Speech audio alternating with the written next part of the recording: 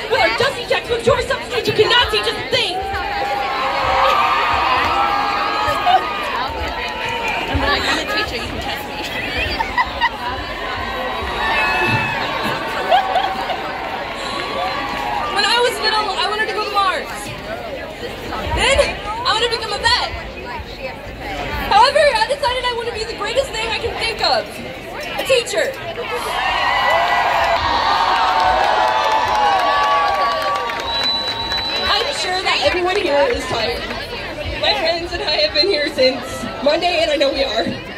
I think I speak for everyone when I say that we would rather be back in class. But I'm glad we're all here today fighting instead of at home.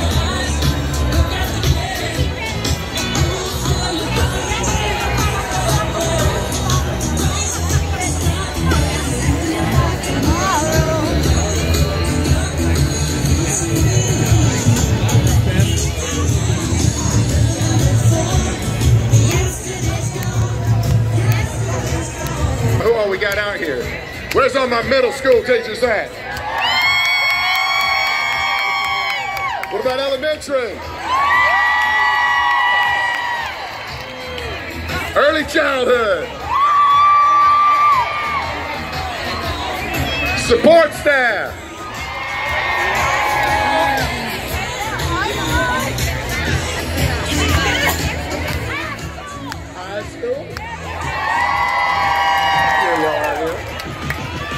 What about my retirees?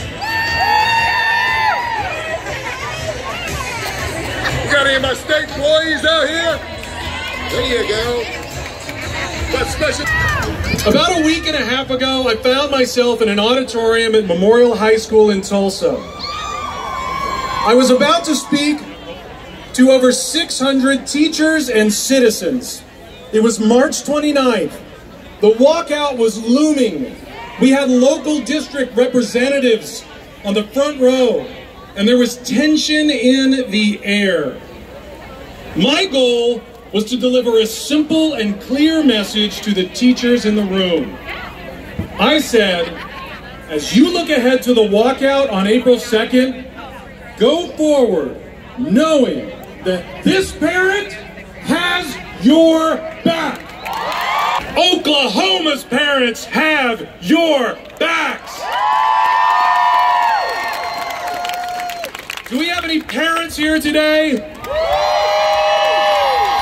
Look at this army of parents.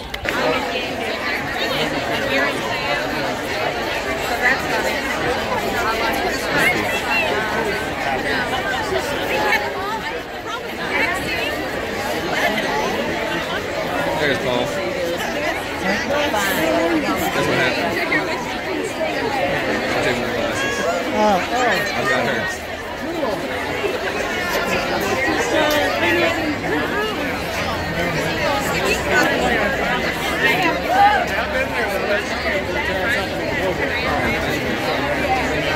Yeah, they're crazy. They're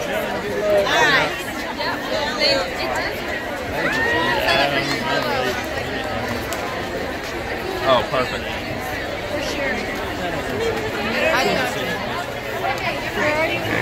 She's, I was always good with her, right? I got to where uh,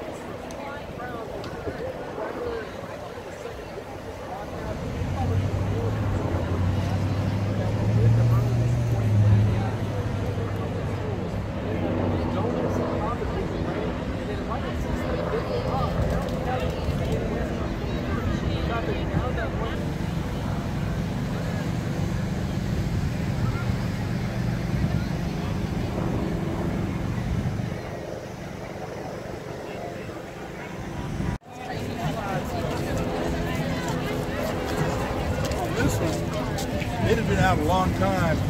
They had like 20, 25 bucks. No,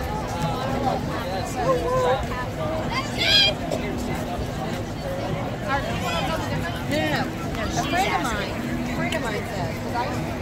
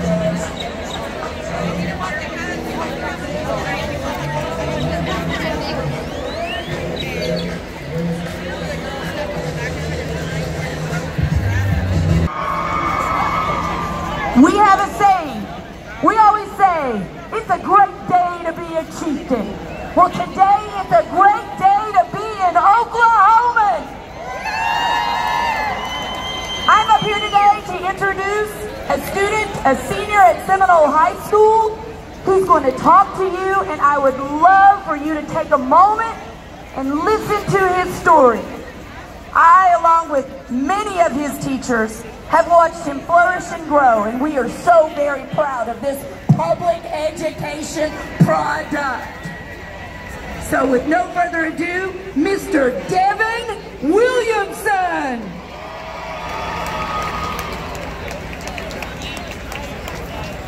Well, um, at first I was, supposed, I was supposed to um, introduce myself, but Mr. Stark did that for me. But I'll go, I'll go ahead anyway. Before I begin, I'd like to introduce myself. I'm Devin Williamson, a senior from Seminole High School. I'm 18 years old, the same amount of years my mother has been teaching special education.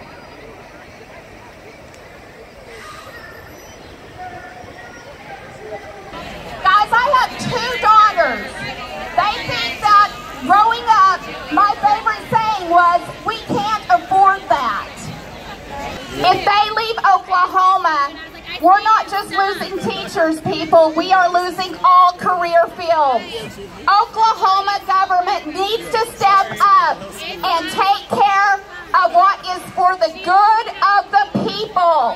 Thank you.